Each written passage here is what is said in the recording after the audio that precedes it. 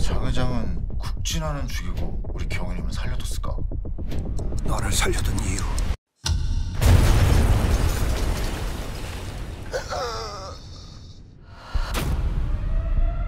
지금부터 공조 수사 체제로 들어갑니다. 친구는 한 놈이 아니었다 이 잔혹한 게임판에서 이길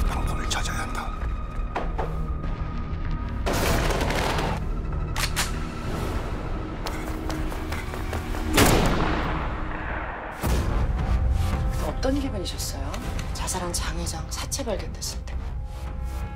조심하세요. 그러다 큰일 납니다.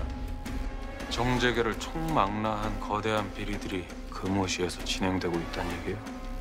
어디에 그놈이 있을지 모른다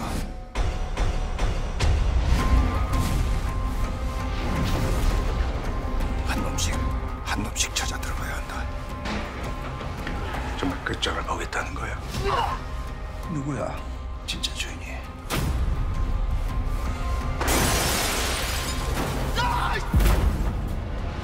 어이 친구. 계속 들쑤시고 다니면 다음은 당신 차례야